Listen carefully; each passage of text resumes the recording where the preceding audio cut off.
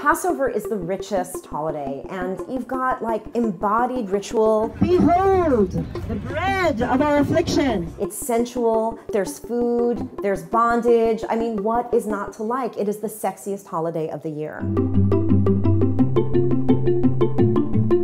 The Haggadah tells us that it's ke'ilu, like it's as if each and every one of us came out of Egypt. And so I'm always thinking every year at the Seder, why are we sitting on our tocheses talking about it? If this is really an embodied experience, why don't we walk around the space that we're at and realize that we're always walking through history?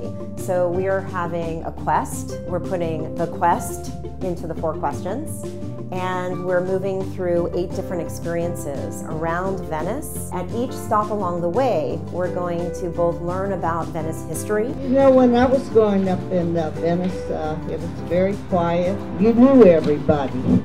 And then we're going to move through it with what is our story from a narrow space of Mitzrayim to an open place of freedom.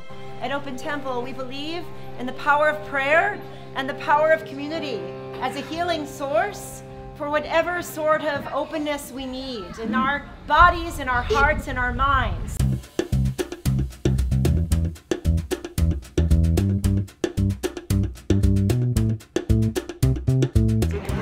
Desert, here we go. We learned our lesson. No more slavery.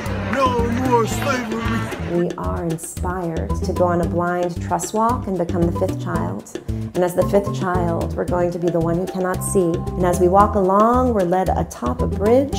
And at the bridge, we're given glasses and told to open our eyes. And when we open them, we see that the sea has been turned red. And the idea behind it is to see red, that there are still plagues amongst us. There are still things that oppress us. And we're going to talk about it. Racism. That is one of the magafot today, one of the plagues today. Racism. What plagues are in our world today? Having this community experience together can realize that the sum total of all of our parts creates an even larger reason of why we're here together. Come close to the Paschal Lamb to make new. That was beautiful, Paschal Lamb. Open Temple really has a mission to re-enchant Judaism and through its re-enchantment to transform local community. And it's my blessing to our community that we each can reintroduce ourselves to our essential truths and introduce that essential self to another and embrace the other closer as we figure out what's our life's work that we can do to make this world a more healed place together.